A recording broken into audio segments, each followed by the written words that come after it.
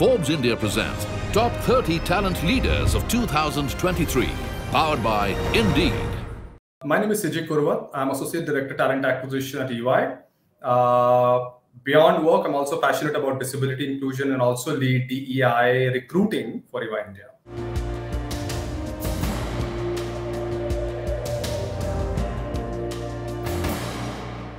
Talent acquisition uh, necessarily didn't really uh, was a choice that I took up. It happened by chance. Uh, but it is something that uh, I have cherished every single day of my work experience. And if you give an option to me right now, I'll, I'll any day choose it.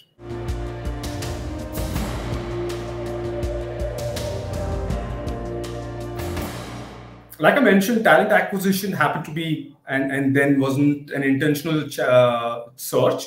But uh, I'm glad that my talent leaders back then gave me that opportunity to kind of, you know, prove myself uh, I started my career in offshore recruiting. Uh, I was focusing on North America and I was recruiting for some of the largest consulting, pharma, telecom, and banking clients back then. Um, I moved into India recruiting in 2007. And since then, I've worked in different capacities, you know, focusing on technology recruiting until 2015. In 2015, I moved to EY um, with a singular focus. I wanted to diversify my experience. Um, started work uh, managing Bombay assurance and tax for EY back then. Uh, you know, build my credibility, network with the talent leaders, business leaders over the year, and um, and moved different positions uh, in last you know seven years with the firm. Uh, I presently lead three businesses for EY, which is assurance, strategy, and transactions, and forensics.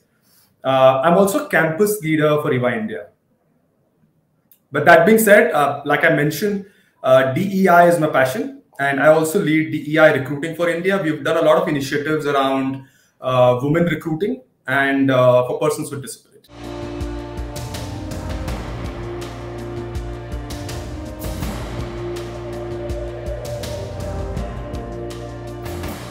While there is a bearish sentiment in the market on employment at this stage, but I strongly believe that there is still going to be a big amount of focus on hiring and retaining good talent.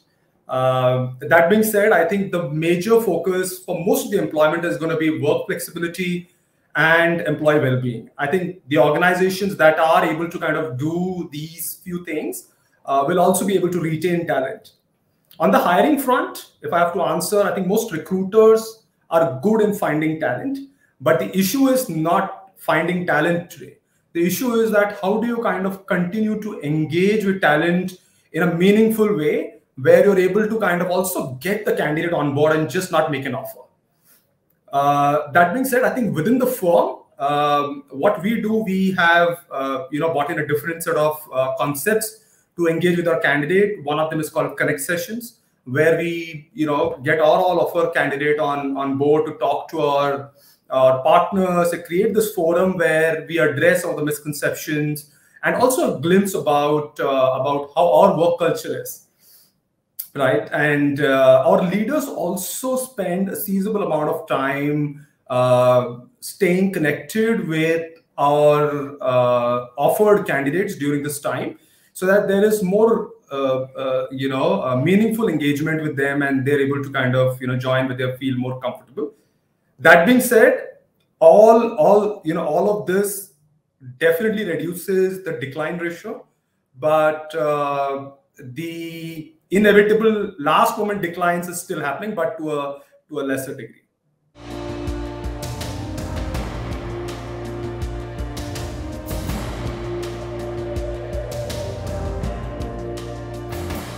Now, run of the mill recruiting approach, getting the mandate and then going out of the market and searching is the foundation of it. So that's not going to go away.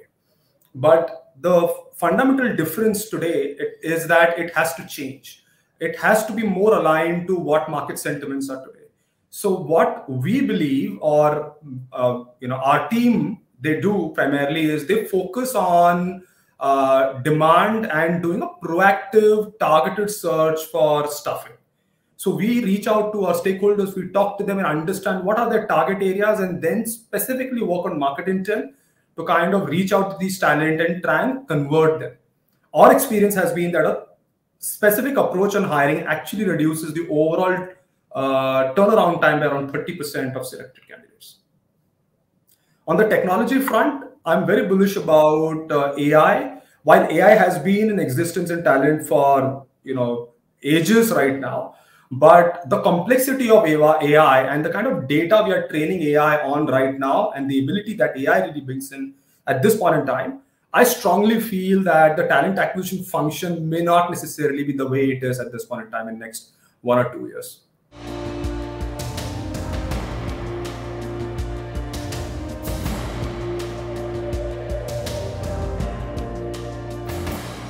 I've always believed in creating a safe work environment for the team where everyone feels comfortable to share their views, build trust.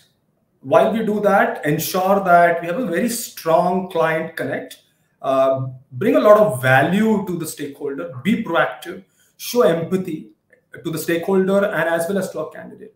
While we do that, we also try and ensure that we provide exceptional experience to our candidates and our stakeholders all of that is then you know enveloped into a lot of data that we try and gather throughout the process which also becomes like a foundation uh, of, of the way we work and become more effective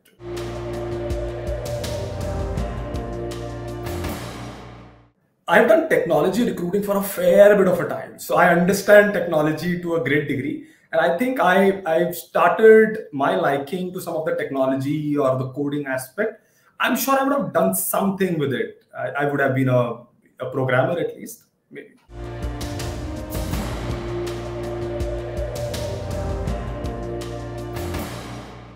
So talent function today, uh, you know, as as you know, there is a stereotypical projection in the in the media of you know how talent is today.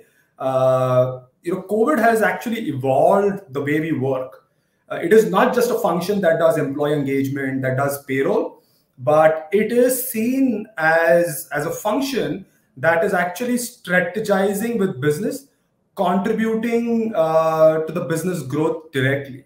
So it is not just about knowing the concept, but you know how do you kind of you know work with your business to actually grow them and continue to support them in a way where the business growth is also sustainable.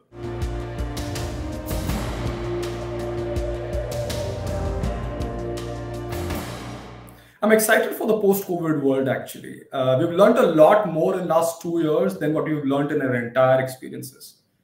Uh, I think every day is a challenge. There's something new that we are getting to do. Organizations are also very broad-minded at this point in time because they're looking forward to experiment, find new ways of recruiting, finding new ways of retaining. So the way uh, you know the future is looking right now, with all those possibilities and plus the technology of uh, you know artificial intelligence and a lot of our work then you know kind of being made automated has a lot of potential on how meaningful we can be with our businesses and our functions.